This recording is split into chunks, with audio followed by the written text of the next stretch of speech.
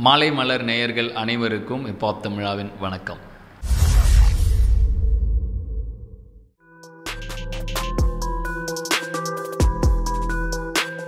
படத்தோட பயணம் ரொம்ப சுவாரஸ்யமாகவும் இனிமையாகவும் இருந்துச்சு. சுவாரஸ்யமாக இருந்துச்சுன்னா இது நாங்கள் பண்ணாத ஒரு விஷயம். ஸ்போர்ட்ஸை விளாடணுன்னா ட்ரெயின் பண்ணணும். இந்த ட்ரைனிங்கு முடித்து ஷூட் அப்போ நடக்கிற விஷயங்கள்னு சுவாரஸ்யமாக இருந்துச்சு. ஏன் இனிமையாக இருந்துச்சுன்னா திருப்பியும் அதே நண்பர்கள் இன்னும் கொஞ்சம் எக்ஸ்ட்ரா நண்பர்கள் நிறைய நண்பர்கள். ஸோ அதனால் மறுபடியும் ஃப்ரெண்ட்ஸ் கூட மறுபடியும் ஒரு ஒரு வருஷம் ஒன்றரை வருஷம் ஜேர்னிங்கிறப்ப ரொம்ப இனிமையாக இருந்துச்சு. ஸோ ஒரு ஒரு சந்தோஷமாக ஒன்றரை வருஷத்தை செலவு பண்ணியிருக்கோம். நிம்மதியும் இருக்குது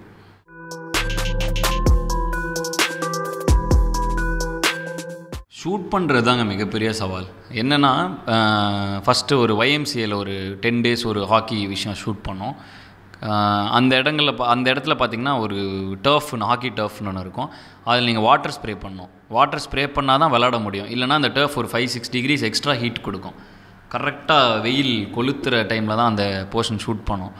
ஸோ பார்த்தீங்கன்னா அந்த டர்ஃப்குள்ளே போயிட்டிங்கன்னா பயங்கர சூடு எக்ஸ்ட்ராவாக வரும். நிறைய பேர் என்னோடய என்னோட அசிஸ்டன்ட் டிரெக்ஷன் டீமில் ஒருத்தர் வந்து விக்கின்னு ஒருத்தர் வந்து திடீர்னு ஸ்ட்ரோக் வந்து கீழே விழுந்துட்டார் மயங்கி.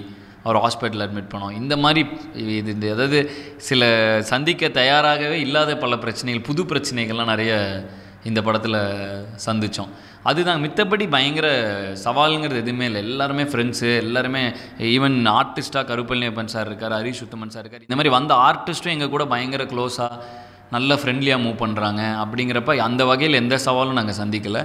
ஃபிசிக்கலாக தான் கொஞ்சம் நிறைய ரொம்ப கஷ்டமாக இருந்துச்சு இந்த படம் ஷூட் பண்ணேன்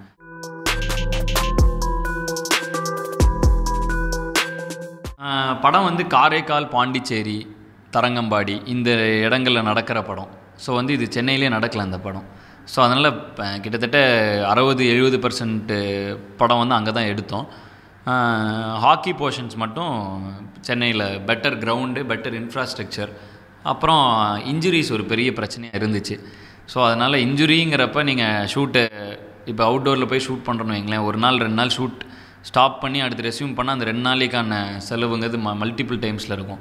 ஸோ அந்த விஷயத்தை மினிமைஸ் பண்ணுறதுக்காக ஏன்னா இன்ஜுரிஸ் வந்து நாங்கள் எக்ஸ்பெக்ட் பண்ணது தான் ஃபஸ்ட்டு ஒரு போர்ஷன் வருது ஹாக்கி அதுலேயே நிறைய பேருக்கு இன்ஜுரி ஆனால அதுலேயே நாங்கள் ஒரு மாதிரி ஃபிக்ஸ் ஆகிட்டோம் இன்ஜுரி வந்து கிளைமேக்ஸ் எடுக்கிறப்ப நிறைய வரும் அப்படிங்கிறது ஃபிக்ஸ் ஆனனால அந்த போர்ஷன்ஸ் எல்லாம் கிட்டத்தட்ட ஒரு டுவெண்ட்டி ஃபிஃப்டீன் டேஸ் என்னமோ வந்து இங்கே ஐசிஎஃபோட கிரவுண்டில் எடுத்தோம்.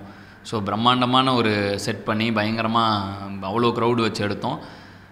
அது மட்டும்தான் மோ மோஸ்ட்டாக சென்னைக்குள்ளே. மீதிலாம் நிறைய வெளில தான் எடுத்தோம். அப்புறம் அங்கங்கே சில விஷயங்கள் மட்டும் சென்னைக்குள்ளே எடுக்க வேண்டியதாக இருந்துச்சு. பட் இந்த படம் வந்து முழுக்க முழுக்க பாண்டிச்சேரி காரைக்கால் பேஸ் பண்ணி அந்த டெரிட்டரியில் நடக்கிற கதை தான் இந்த படம்.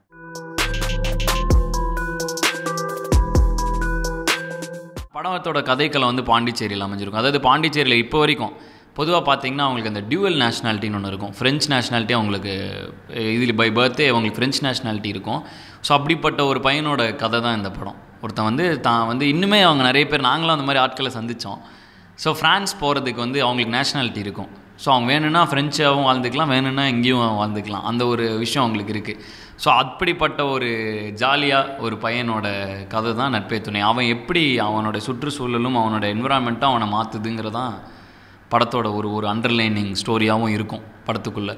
ஸோ அதனால் அது அந்த அந்த ஃப்ரான்ஸ் அப்படிங்கிற ஒரு விஷயத்தை வச்சு படத்தோட டைட்டில் ட்ரெய்லர்லேயே வந்து இப்போ இந்தியாவுக்கு வெக்கேஷன் வந்து இருபத்தைந்து ஆண்டுகள் கழித்து ஃப்ரான்ஸுக்கு திரும்பும் எங்கள் இளவரசர் அப்படிங்கிற மாதிரி ஸ்டார்ட் பண்ணுவாங்க.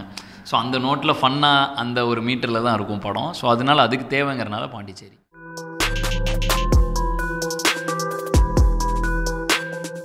அவர் தாங்க படத்தில் ஹீரோ ஆக்சுவலாக மீசை முருக்கு படத்துக்கு எப்படி விவேக் சார் வந்து ஒரு ஹீரோவை தாண்டி ஒரு ஒரு ரோல் மாதிரி இந்த படத்தில் ஹீரோவை தாண்டின ஒரு ரோலாக கருப்பழனியப்பன் சார் ரோல் இருக்கும். எல்லாராலையும் படம் முடிஞ்சு கண்டிப்பாக பேசப்படுற ரோல் அவர் தான் இருக்கும்.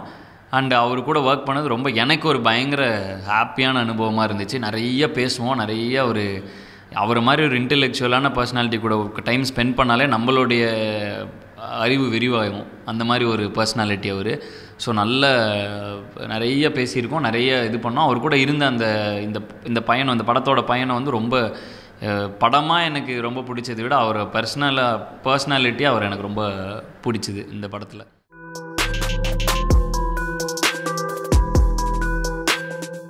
இல்லைங்க நான் தொடர்ந்து அது நாங்கள் இப்பாப் தமிழ் ஆரம்பித்ததே அப்படி தான் ஆரம்பிச்சது இப்பாப் தமிழாவே வந்து ஃபஸ்ட்டு சோஷியல் மெசேஜ் சொல்லி தான் ஸ்டார்ட் பண்ணோம். எலெக்ஷன் கமிஷனோட எலெக்ஷன் ஆந்தம் தான் எங்களோட முதல் ரிலீஸே அதுக்கப்புறம் இப்பாப் தமிழன் ஆல்பம் எடுத்துக்கிட்டிங்கன்னா கிட்டத்தட்ட எல்லா பாட்டுமே தமிழை பற்றி ஒரு பாட்டு மட்டும் கிளப்பில் மொபில் பட் அன்ஃபார்ச்சுனேட்லியோ ஃபார்ச்சுனேட்லியோ அந்த பாட்டு மட்டும்தான் மக்கள் ரிசீவ் பண்ணிக்கிட்டாங்க. அது மூலமாக வந்து நாங்கள் இண்டஸ்ட்ரிக்குள்ளே கால் எடுத்து வச்சனால ஹிப்ஹாப் தமிழாங்கிறது வந்து ஒரு டைல்யூட்டடான ஒரு இமேஜ் அப்போ இருந்தாலும் அதுக்கப்புறம் தொடர்ந்து நாங்கள் என்ன பண்ணிக்கிட்டு இருந்தோமோ அதே தான் பண்ணுறோம் வாடி புள்ள வாடியில் ஆணவ கொலைகள் பற்றி ஒரு விஷயமாகட்டும் அதுக்கடுத்து தொடர்ந்து டக்கர் டக்கரில் ஜல்லிக்கட்டு அதுக்கடுத்து இப்போ வந்து தமிழின்னு சொல்லி தமிழ் எழுத்துக்கள் உருவான வரலாறு எப்படி அப்படிங்கிறத கிட்டத்தட்ட ரெண்டு வருஷமாக ஒரு ரிசர்ச் டாக்குமெண்ட்ரி எடுத்துகிட்டு இருக்கோம்.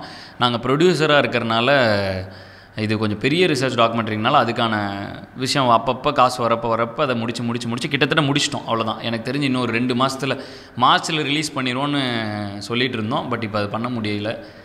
மேபி ஒரு எப்படியும் ஏப்ரல் ஜூன் ஜூலைக்குள்ளே எப்படியாவது இதை பண்ணிவிடுவோம் ஆல்ரெடி முடிகிற கட்டத்தில் இருக்குது ஸோ தமிழி போயிட்டுருக்கு. அது போக இயற்கைன்னு இன்னொரு ஒரு விஷயம் எடுத்துகிட்டு இருக்கோம். அதுவும் பாதியிலே நிற்குது ஸோ இப்போ படங்கள் அதிகமாக போயிட்டு இருக்கறனால கெரியர் ரொம்ப இது கரெக்டான தக்க வச்சுக்க வேண்டிய சமயத்தில் இருக்கிறனால ப்ரூவ் பண்ண வேண்டிய இடத்துல இருக்கிறனால அதில் கொஞ்சம் கான்சன்ட்ரேஷன் அதிகமாக போட்டுட்ருக்கோம். பட் எங்கள் டீம் தொடர்ந்து இந்த மாதிரி விஷயங்களை பண்ணிட்டு தான் இருக்காங்க. படம் ஒரு பக்கம் வந்துட்டுருக்கு வந்துட்டுருக்கு இப்போ தமிழ் இதுக்கு தான் நாங்கள் ஆரம்பிச்சது. ஸோ அந்த விஷயமும் தனியாக வந்துட்டே தான் இருக்கும்.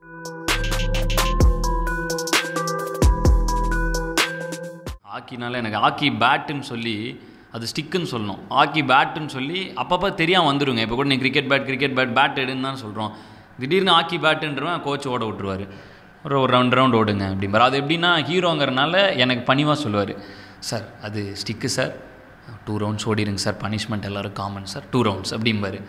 நான் அப்படியே பார்த்துட்டு சரிங்க சார் அப்படின்னு சொல்லிட்டு ஒரு பாயிண்ட்டுக்கு மேலே அது அப்படியே வாயில் பேட்டுங்கிற வார்த்தை ஹாக்கி ஸ்டிக் அப்படி ஆகிடும் எங்களுக்கு பயத்தில். ஸோ அந்தளவுக்கு டிசிப்ளினான ஒரு கோச்சு கொஞ்சம் கூட இவங்கெல்லாம் ஸ்க்ரீனில் வராங்க. அந்த மாதிரி பாரபட்சமே பார்க்காம வச்சு செஞ்சிட்டாரு பேசிக்காக பயங்கர கொஞ்சம் டிசிப்ளின்டான கோச் அது ரொம்ப தெளிவாக சொல்லுவார்.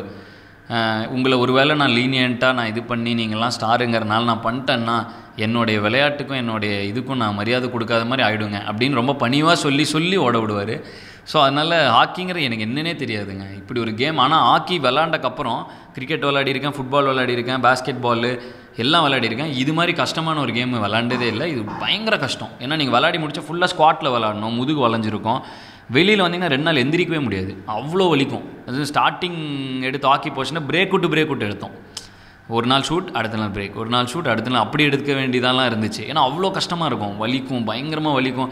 அண்டு இதில் ரொம்ப முக்கியம் என்னென்னா ஆக்ஷன் டைரக்டரோட பங்கு தான் இந்த படத்தில் ரொம்ப முக்கியம். அத்தனை இன்ஜுரிஸ் ஆனால் கூட கொஞ்சம் கூட ஒரு மனசு தளராமல் எல்லாரையும் ப்ராப்பராக இப்போ ஒரு ஷார்ட் முடிச்சு வந்து உக்காந்தோன்னே ஓடி வந்துடுவாங்க வந்து காலில் இது பண்ணுவாங்க மசாஜ் பண்ணுவாங்க அந்த மாதிரி ஒரு பயங்கர சப்போர்ட் பண்ணாங்க. ஒரு டீமாகவும் ஸோ இந்த ஹாக்கி வந்து எனக்கு என்ன மேட்டர்னே தெரியாது. கற்றுக்கிட்டு நீங்கள் படமாக பார்க்குறப்ப நான் எனக்கே ஓரளவுக்கு ஆ பரவாயில்ல பிளேயர் மாதிரி தான் ஆடிட்டுருக்கோம் அப்படிங்கிற ஒரு ஃபீல் வர அளவுக்கு என்னை ட்ரெயின் பண்ணியிருந்தாங்க ஸோ புது விஷயந்தான் ஹாக்கி எனக்கு என்னென்னே தெரியாத விஷயந்தான்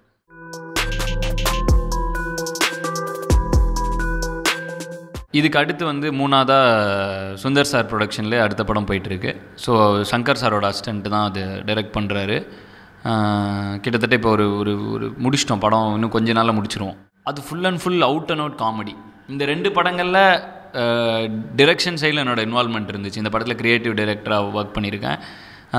ஸோ அதனால் இந்த இந்த ரெண்டு படங்களில் எங்களுடைய ஒரு சாயல் இருக்கும்.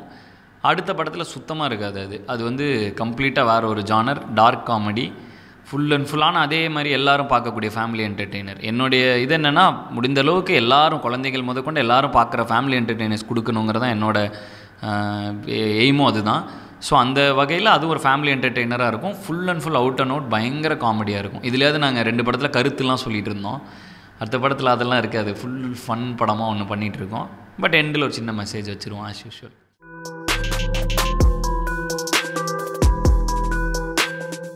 இளைஞர்கள் ஓட்டு போடணும். அதுவே பெரிய எல்லாரும் ஓட்டு போடணும். ஓட்டு போட்டாலே போதும். அந்த ஒவ்வொரு தடவையும் வாக்கு சதவீதம் எழுபது சதவீதம் பதிவானது அறுபது சதவீதம் பதிவானதுங்கிறது நூறு சதவீதம் பதிவானதுனால எல்லாமே மாறிடும் நான் நம்புகிறேன் ஸோ அதுதான் முக்கியம். இளைஞர்கள் கையில் அந்த பவர் இருக்குது இன்றைக்கி இளைஞர்கள் அதிகமாக வாழும் நாடு இந்தியா அப்படின்னு மாணவர் அப்படிங்கிற ஒரு டாக்குமெண்ட்ரி அதுக்கு தான் எடுத்தோம். இப்போ ரீசெண்டாக டக்கர் டக்கர் முடித்து மாணவன் ரிலீஸ் பண்ணதே அதுக்கு தான். ஸோ யுஎன் ரிப்போர்ட் என்ன சொல்லுதுன்னா by two thousand UNDP report என்ன சொல்லுதுன்னா இரண்டாயிரத்தி இருபத்தி ஒன்றில் வந்து இளைஞர்கள் சரியான ஆக்கப்பூர்வமான வழிகளில் செயல்பட்டாங்கன்னா இந்தியா வந்து மிகப்பெரும் வல்லரசு ஆகிறதுக்கான வாய்ப்பு இருக்குதுன்னு சொல்லுது யுஎன்டிபி அறிக்கை. ஸோ அந்த அதுக்கான வாய்ப்பு இருக்குது அது நடக்குதா நடக்கலையாங்கிறது எங் இளைஞர்கள் கையில் தான் இருக்குது எங்கள் கையில் தான் இருக்குது ஸோ பொறுப்பாக இந்த இதில் ஓட்டு போட்டாலே ஒரு பெரிய மாற்றத்தை கொண்டு வர முடியும்னு நம்புகிறோம்